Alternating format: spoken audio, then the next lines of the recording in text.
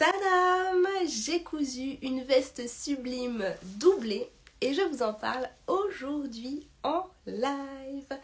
Bienvenue, bienvenue dans ce live. J'espère que vous allez bien. Je vous laisse arriver tranquillement. Vous arrivez? Hello, hello J'espère que vous allez bien, que vous avez passé une belle semaine. Coucou Corinne Et euh, et que vous êtes, euh, comment dire, ravis de me retrouver en live ce midi. J'ai l'impression que ça fait super longtemps que je ne vous ai pas retrouvé là et papoté avec vous, donc euh, je, suis, je suis toute contente et j'ai comme l'impression d'avoir perdu l'habitude aussi, mais euh, ça va vite revenir. Aujourd'hui, vous voyez, je porte la veste sublime que j'ai déjà terminée, enfin que j'ai terminée il y a déjà un petit temps, mais entre euh, les, informations euh, importantes à passer et puis les vendredis où je n'ai pas pu me connecter, ben, du coup je vous en parle aujourd'hui de cette veste, euh, cette sublime veste sublime que j'ai doublée. Et du coup je vais en profiter comme ça pour vous pour vous expliquer euh, assez rapidement euh, de vive voix, disons, euh, comment faire pour doubler la veste, sachant qu'il y a un article de blog qui va arriver ensuite où vous allez avoir les notes écrites. Donc, donc voilà, ne vous inquiétez pas si jamais vous n'avez pas le temps de prendre des notes par exemple. en tout cas, profitez-en aujourd'hui pour poser toutes vos questions si vous en avez sur, sur cette veste, sur euh, sur euh, par exemple des conseils pour coudre une veste ou alors n'importe quelle question que vous avez à me poser, je serais ravie de vous répondre en live. Vous arrivez, hello hello tout le monde, trop trop contente euh, bah, de vous avoir connecté ce midi. Super super. Donc pour celles pour qui c'est la première fois, vous êtes la première fois en live, faites-moi un petit coucou, dites-moi qui vous êtes, comme ça comme ça, je vous repère. Et puis pour les habitués, ben, merci d'être toujours fidèle au rendez-vous et de même que la team replay. Hein, n'hésitez pas à mettre un petit message comme ça, je sais euh, bah, qui me regarde, tout simplement. du coup, aujourd'hui, voilà, je vais vous, euh, vous parler de cette veste, euh, la veste sublime. Si vous voulez, je me lève comme ça, vous allez mieux la voir. Hop là. Euh, elle, est, euh, elle est comme ceci. Donc euh, la veste sublime, c'est une veste qui est comme ça assez cintrée et qui est caractérisée, je ne sais pas si vous allez réussir à voir avec mon tissu qui est, voilà on le voit comme ça, qui est caractérisé ici par des découpes princesses. une jolie basque qui je trouve en fait, je trouve que l'association découpe princesse ici avec ce, cette pièce de tissu euh, tout, en, tout en hauteur associée à la petite basque, alors je trouve que ça fait une silhouette euh, super jolie. Il n'y a pas d'autre mot parce que du coup euh, cette partie là verticale, eh ben, ça, ça élance et puis ça, ça gomme un petit peu si jamais on a des, rondeurs ici au niveau du ventre et euh, le fait que ce soit cintré ici sur le côté. Mais du coup ça fait une, jolie silhouette donc moi j'adore cette veste pour ça et puis euh, aussi pour son, pour son col comme ça qui, que je trouve euh, très chic et très féminin. Moi, euh, la veste, je la porte tout le temps ouverte. Vous me voyez tout le temps euh, la porter comme ça. Mais si vous voulez, euh, vous pouvez, vous pouvez la boutonner. Donc, soit en mettant dans le patron, c'est prévu, soit de mettre une, une agrafe comme ça. soit sinon de mettre un, bouton. Mais moi, vous voyez, c'est limite. Hein, la taille, j'ai coupé une taille qui est trop juste ici pour, pour fermer la veste, mais c'est pas grave du tout pour moi puisque je la porte tout le temps ouverte. J'aime bien comme ça. Voilà. Euh, les manches ici euh, sont en deux parties pour faire une belle manche tailleur et puis bah, le dos il est comme ça. Voilà, le dos, le dos classique disons. il y a... J'ai rien à dire, disons, sur le dos. Euh, j'aime beaucoup euh, ce modèle. Si vous voulez voir le dessin technique, peut-être que vous allez mieux visualiser euh, comment ça se présente. Voilà, le, devant, vous voyez ce que je vous disais, les, deux pans comme ça. Je trouve ça vraiment très joli. Et, la petite basque qui, ben, qui, qui cintre en fait la silhouette. Et après au niveau du, du col, là vous pouvez choisir euh, vous pouvez choisir de soit de le, de le faire comme ça, de la même couleur en fait que, que, bah, que le corps de la veste, euh, soit sinon il y a une, possibilité ici de mettre comme, euh, comme une parmenture en fait pour faire un, une petite fantaisie d'une autre couleur, vous voyez. Donc moi personnellement, toutes mes versions, je les ai faites bah, comme ça, avec le col plein. disons. Et, euh, et, ce qui est sympa avec ce modèle, je trouve, c'est que en fonction du tissu que vous allez choisir, le style sera complètement différent. Donc si vous voulez, j'ai sorti mes, mes, deux versions. Euh, j'ai une version comme ça en, que j'ai réalisée du coup en, en velours côtelé. Euh, c'est celle que je portais hier. J'ai une notification d'Instagram. C'est celle que je portais hier. Et euh, du coup, ça a fait un style qui est plutôt euh, bah, détente, je dirais, un petit, un petit peu plus euh, décontracté, beaucoup plus fine aussi. Et vous voyez, ça c'est la version initiale, c'est-à-dire c'est la version en suivant le pas à pas telle qu'elle. donc on va avoir une veste, parce que la veste sublime initialement, elle n'est pas doublée. Donc vous voyez, on va avoir une veste comme ça avec bah, les coutures apparentes, disons, à l'intérieur du vêtement et puis euh, j'avais gancé là euh, au niveau de la parmenture et de la basque. C'est ce qui est prévu par le modèle. Donc euh, voilà, on a une veste comme ça qui est plutôt... ouais, qui, est moins formelle, disons, quand on la réalise dans un, un velours à grosse côte par exemple. Et ma seconde version, hop là, elle est juste derrière. Je l'avais réalisé, alors c'est complètement différent, hein, vous voyez, en fonction du tissu. Je l'avais réalisé dans un, tissu fleuri comme ça. J'adore cette version qui est bah, assez, euh, assez osée, disons, de porter, euh, de porter les fleurs comme ça sur une veste, mais je trouve ça très très joli. Et pour cette version-ci, vous voyez, j'avais doublé. J'avais déjà créé une doublure. Et, et en fait, ce que j'ai fait, c'est que j'ai réalisé ici cette pièce euh, du, col, en fait c'est la parmenture à l'intérieur. Au lieu de la réaliser dans le même tissu comme là, et ben du coup je l'avais réalisé dans le tissu noir, ce qui fait euh, un peu une veste bicolore du coup avec, euh, avec la, le noir qui ressort au niveau du col. Donc là je sais pas si vous voyez bien du fait que c'est noir sur noir sur la doublure, mais vous l'avez déjà vu en story quand je la porte sur Instagram. Euh, aussi vous m'avez déjà vu euh, lors d'un cours ou en vrai. et ben, du coup ça, ça rend bien, je trouve, cette, euh, ce, ce, col bicolore.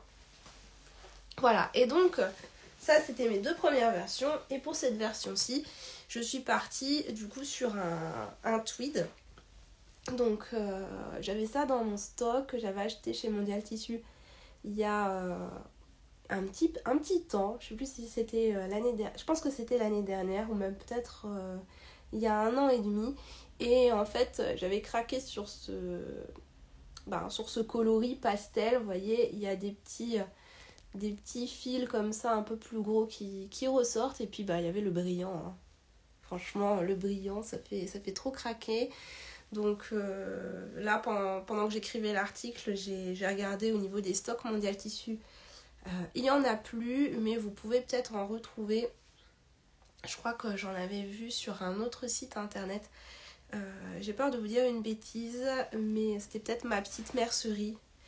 Euh, en tout cas, si vous cherchez tweed, tweed pastel, vous allez en trouver. Et voilà, celui que j'ai pris ressemble à ça. Alors, je vais remonter, voir si vous m'avez posé des petites questions.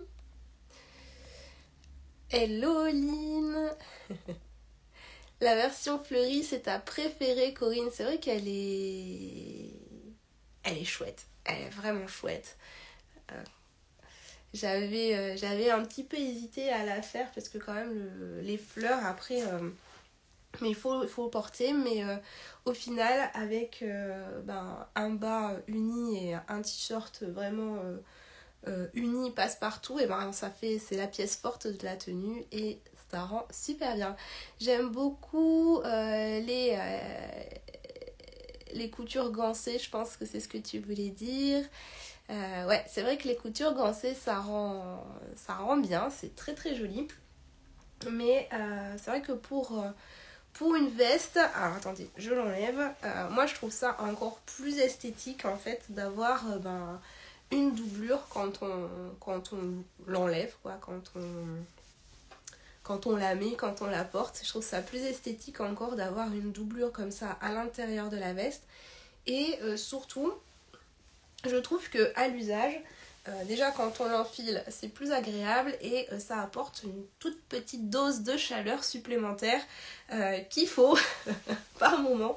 Et c'est vrai que la, la veste qui n'est pas doublée, celle qui n'est pas doublée, celle-là, elle, est elle est plus froide en fait que, que les autres. Donc je caille plus vite, tout simplement. Mais, mais c'est vrai que les, les coutures gancées, c'est quand même quand même super joli, euh, c'est sympa.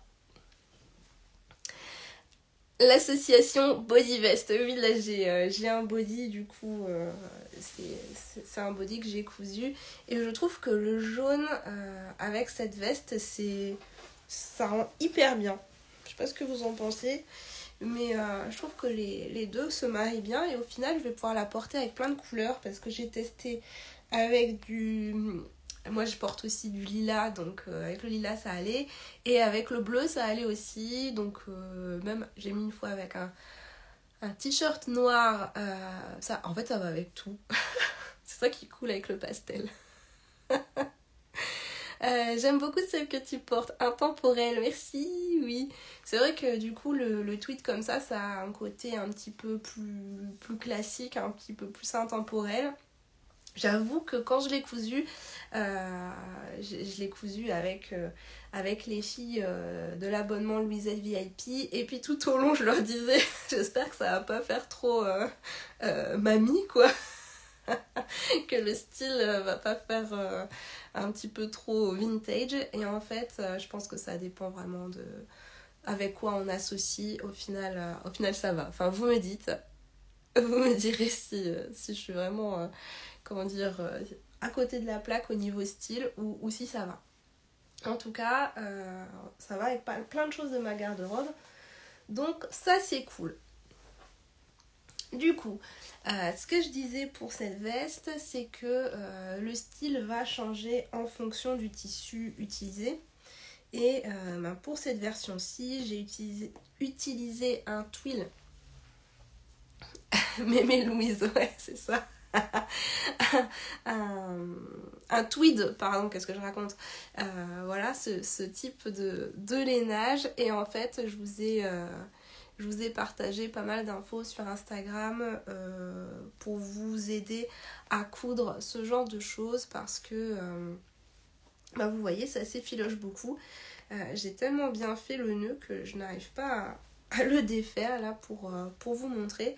Mais bah alors, je n'y arrive pas, je n'y arrive pas. Mais en tout cas, c'est un, un tissu qui s'effiloche beaucoup, donc euh, je vous recommanderais de surfiler la totalité de vos pièces avant de, démarrer la couture si jamais vous cousez ce genre de tissu.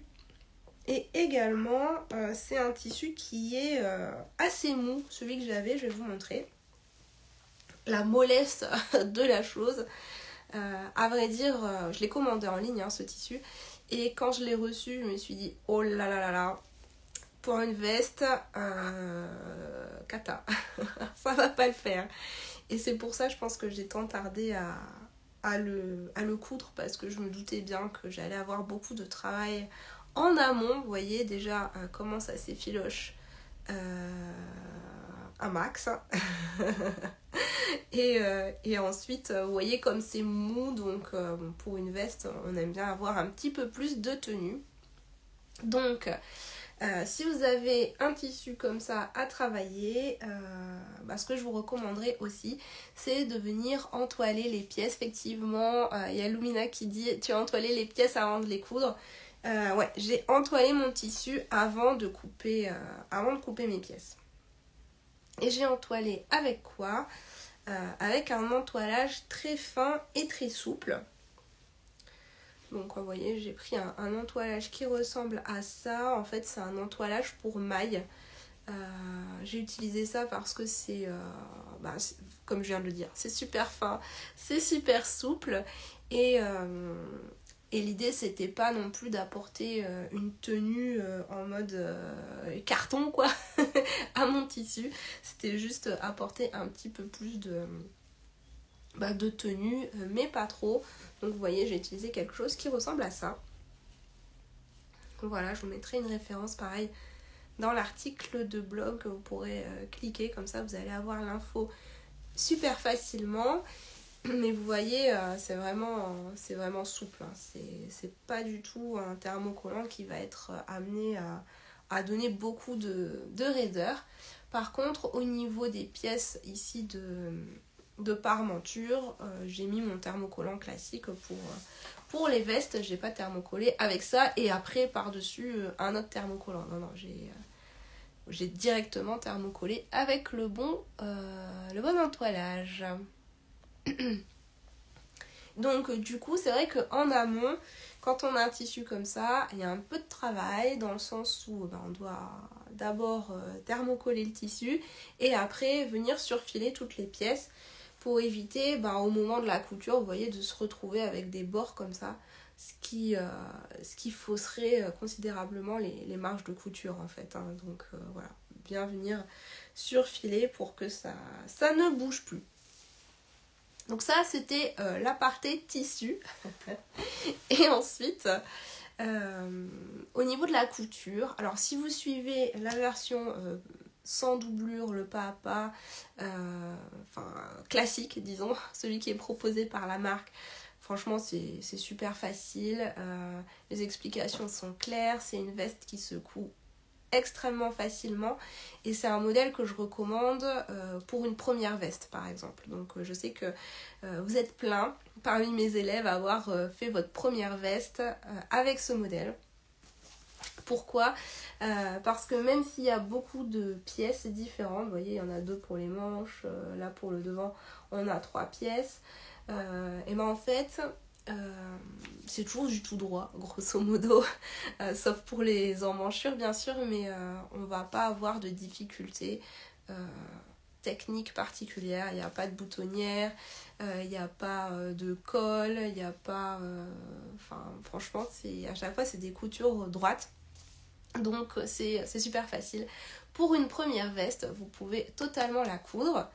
Et ensuite, euh, une fois que vous avez fait des versions comme ça sans, doublure, eh ben vous pouvez vous amuser à ajouter une doublure. Et euh, c'est plutôt facile avec ce modèle. Parce que, euh, vous voyez, dans le patron de base, on a déjà ici une parmenture comme ça dans le dos. Euh, on a une parmenture sur le devant et surtout ici on a cette pièce qui remonte en fait pour créer la basque. Donc en gros, nous, il nous reste à, remplir le vide ici, créer une doublure pour remplir le vide. Euh, et il faut simplement en fait travailler euh, la pièce dos et les pièces, la pièce milieu dos, la pièce côté dos et après la pièce côté devant. Euh, donc euh, donc c'est plutôt facile à, réaliser. C'est pour ça que je voulais expliquer dans l'article. Et si vous voulez je peux vous expliquer euh, de vive voix là maintenant. Si ça vous intéresse dites-moi dites-moi. Et si vous avez des questions encore une fois n'hésitez pas. Est-ce qu'il y en a parmi vous qui l'ont déjà cousu cette veste? Alors là, vous voyez, ça, mon col, il, retombe un petit peu à chaque fois. Il faudrait que je fasse des, petits points pour que ça reste, euh, en place. Lumina, ça t'intéresse Comment faire pour la doublure? Est-ce qu'il y en a parmi vous qui l'ont déjà cousu? Vous connaissiez? Bah oui, vous avez peut-être euh, probablement déjà vu du fait que j'en ai parlé plein de fois. Attendez, le patron, je l'avais laissé là-bas. Ça m'intéresse l'explication de la doublure. Cool, cool, cool. Donc du coup, je vous en parle. Donc comme je disais, euh, alors attendez que je... Euh, comment, comment faire? J'essaye de, reprendre mes esprits pour euh, vous expliquer ça bien. alors, le devant, j'ai pas besoin du devant, j'ai besoin du dos. Le dos, le dos, que je vous montre. J'ai oublié de préparer. Désolée. Ok. Donc en fait, l'idée, comme, je vous, euh, comme je vous disais, euh, ici, pour ajouter la doublure de la veste, il faut simplement, entre guillemets, venir combler le trou. Donc, euh, vous voyez, on doit combler ici le trou du dos, des côtés, dos, côté devant. Et ici, on a un micro-trou au niveau de la parmenture devant. Je n'ai jamais cousu de veste, j'aimerais me lancer. Donc si tu veux te lancer pour une veste, euh, ben, ce modèle par exemple, ça peut, euh, ça peut être un, chouette modèle. Et si tu as envie d'avoir, euh, d'ailleurs tout le monde, hein, si vous avez envie d'avoir d'autres inspirations, j'ai fait un post Instagram avec des idées de vestes faciles à coudre.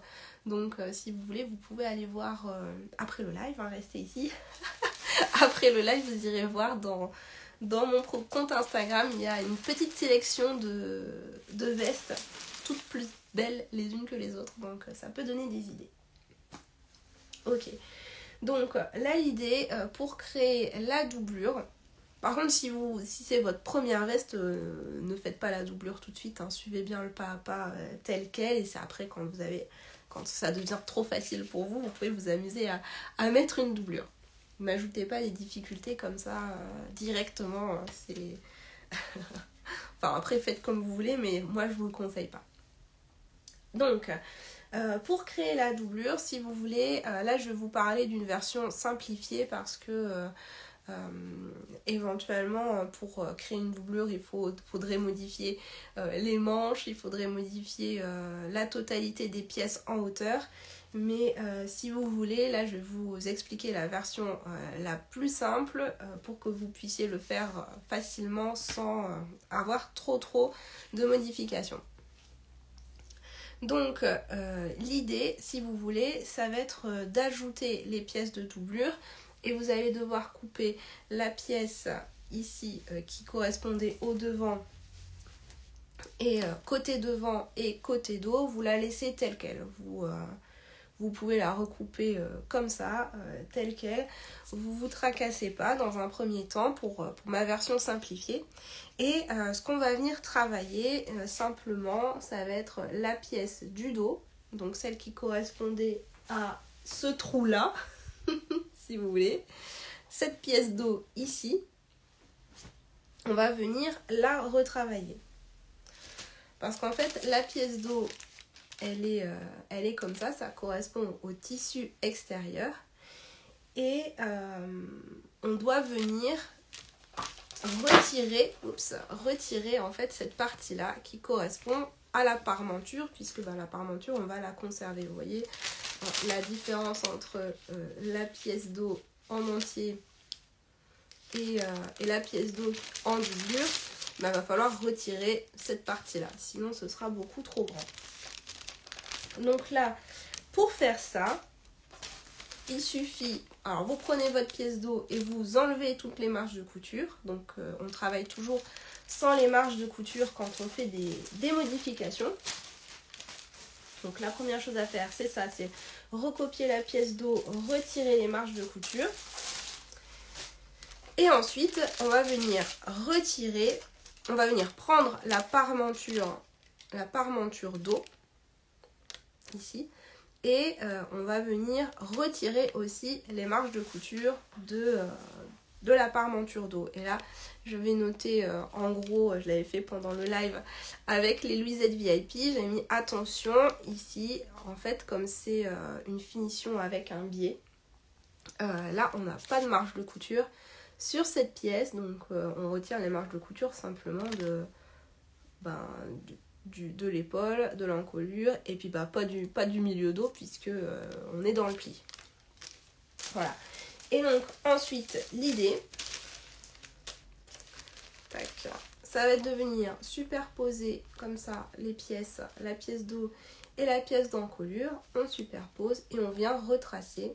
Donc là, vous imaginez que j'ai retiré les marges de couture hein, ici. Et on vient retracer ce trait-là, ici, sur notre pièce euh, d'eau. Comme ça, on va avoir la ligne de couture ici qui va assembler euh, la parmenture et la doublure. Et une fois qu'on retire, tac, voilà, vous, imaginez mon trait, vous venez euh, retirer en fait cette partie-là, puisque cette partie-là, le tissu, ce sera euh, le tissu extérieur. Donc une fois que vous avez fait ça, vous pouvez, comment dire, vous pouvez venir recouper sur le trait euh, si jamais vous, euh, vous, ne retracez pas les, marges de couture tout de suite, ou alors ben, vous, vous, gardez en mémoire que euh, toute la partie supérieure sera à supprimer.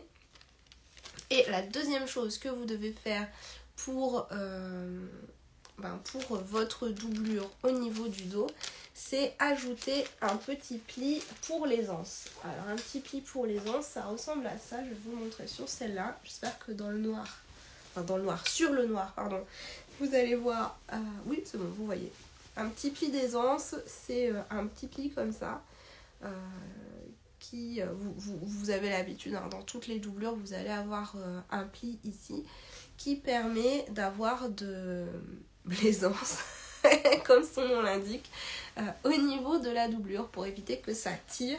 Donc pour ajouter ici ce pli d'aisance dans le milieu d'eau, c'est euh, super facile. Il suffit tout simplement de venir ici décaler, tac, décaler euh, le milieu d'eau des centimètres que vous souhaitez, donc euh, un centimètre et demi, 2 cm en fonction de, ce que vous souhaitez faire et ensuite bah, venir alors donc là le trait il sera plus là, hein, vous visualisez, il était par là et venir rattraper le trait comme ça, tac, tac, tac. Là, ça c'est la modification de la pièce d'eau euh, classique que vous pouvez faire. Si jamais c'est pas méga super clair, il y a Oran qui va nous faire un super beau schéma euh, et que j'insérerai dans l'article de blog. Je lui ai demandé de faire ça parce qu'elle fait ça bien mieux que moi. Euh, je pense que je sais que vous adorez mes dessins, mais elle dessine beaucoup mieux. et du coup, vous allez avoir le schéma comme ça dans l'article de blog prochainement. Euh, mais du coup, euh, voilà, c'est la modification que vous pouvez faire pour, euh, pour la pièce d'eau. Donc, ajouter un pli d'aisance, de l'aisance ici sur le milieu d'eau et retirer la partie parmenture. Les légendaires dessins, ouais. Là, c'est que, c'est que dans la team. C'est que pour les élèves des cours en direct, les dessins. voilà. C'est l'exclusivité, on va dire. Du coup, une fois que vous avez fait ça, vous avez votre pièce d'eau et votre, euh, enfin, votre pièce parmenture du coup sans les marges de couture. Là, il va falloir remettre les marges de couture pour pouvoir coudre hein, tout simplement euh, vos tissus ensemble et, euh, et, et c'est good. C'est bon pour la modif simplifiée. Après, si vous avez envie d'apporter un petit peu plus d'aisance encore sur votre doublure, vous pouvez augmenter la hauteur de toutes vos pièces. Donc euh, euh, du coup il va falloir augmenter la hauteur des pièces. Là j'ai fait tomber. J'ai fait tomber ça. Euh, augmenter un petit peu la hauteur de cette pièce-ci, devant, enfin dos, côté dos, devant dos, devant dos, n'importe quoi. Côté devant, côté dos, dos, et puis, et puis c'est tout. Et puis c'est tout, ça va être les seules pièces que l'on va couper dans la doublure et puis les manches aussi. Vous pouvez ajouter un petit peu d'aisance au niveau de l'emmanchure euh, pour la manche. Et euh, deuxième chose, pour, euh, pour ajouter une doublure à, à cette veste, c'est que dans le tissu extérieur, ici, vous n'allez pas couper la parmenture comme, comme ce qui est prévu à la base. Parce que rappelez-vous, sur, euh, sur cette version-ci, vous voyez, il y a une toute petite zone Vous voyez là, c'est une toute petite zone de trou qu'il va falloir doubler.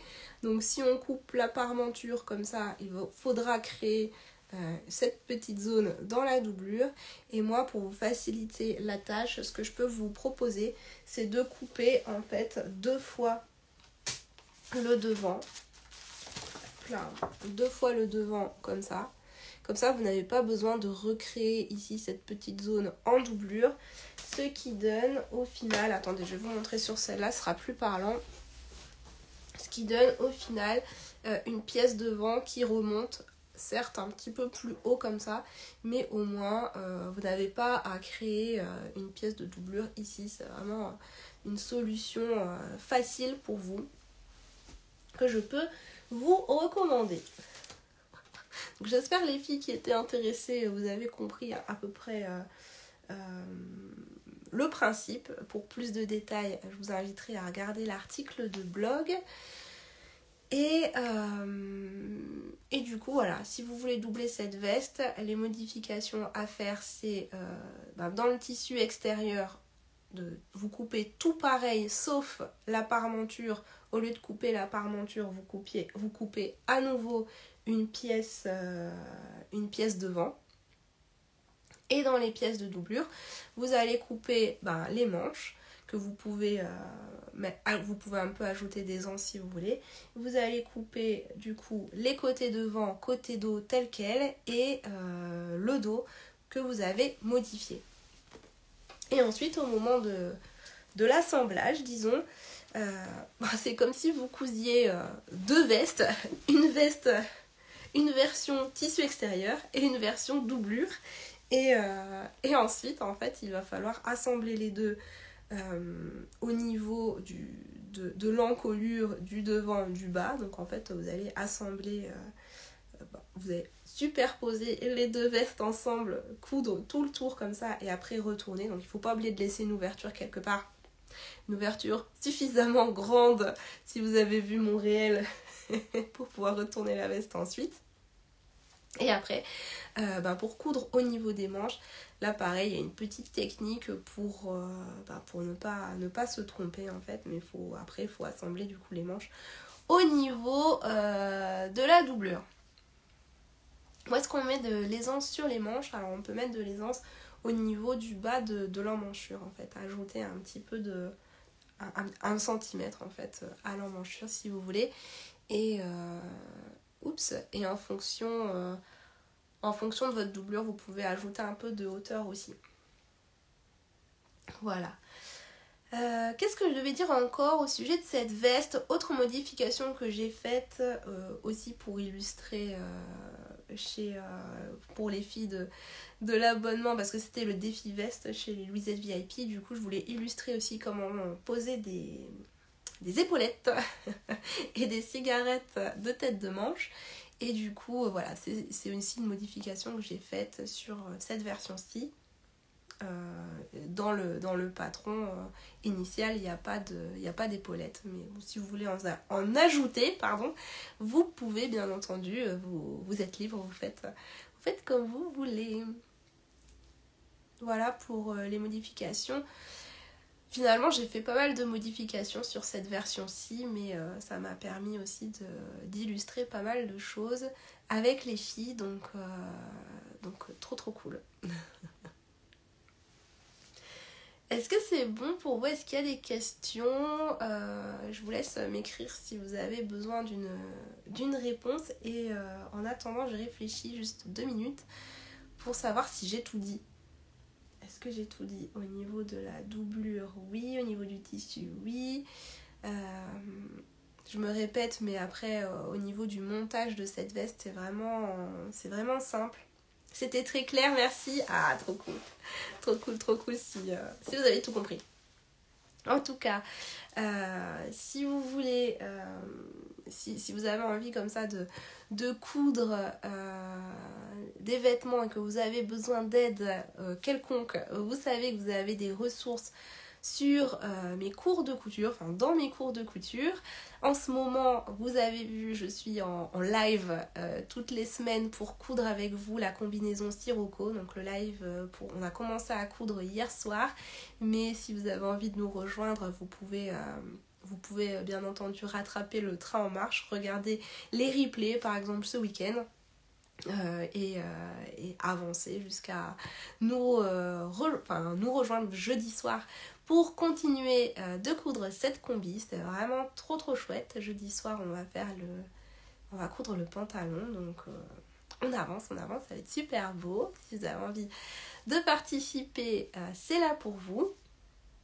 En ce moment aussi, si vous voulez euh, vous, euh, vous perfectionner avec votre surjeteuse, si vous avez une surjeteuse, il y a un code promo qui est en cours euh, pour avoir une remise du coup sur le cours bien démarré avec sa surjeteuse avec le code Sirocco. C'est en lien aussi avec, avec cet événement combinaison. Donc voilà, si ça vous intéresse, vous pouvez en bénéficier.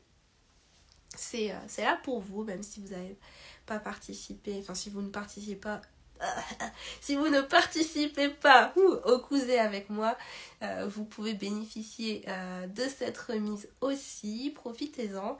Et puis euh, voilà.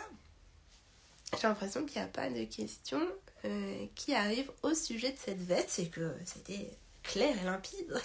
en tout cas, c'est un modèle que j'aime toujours autant. Euh, coudre et porter. Donc euh, je suis trop contente de vous en parler aujourd'hui. Euh, dites-moi si ça vous inspire à, tester ce modèle de veste, si vous l'avez déjà testé, même la team replay, faites-moi un petit coucou. Et comme j'ai pas de questions qui arrivent, je vais vous souhaiter une très belle fin de journée, un bon week-end, bonne couture. On se retrouve ici ou là sur le blog, sur Instagram, dans la newsletter, dans les cours de couture et euh, YouTube, enfin bref, partout. à très bientôt les filles. Bon week-end et euh, prenez soin de vous. Bye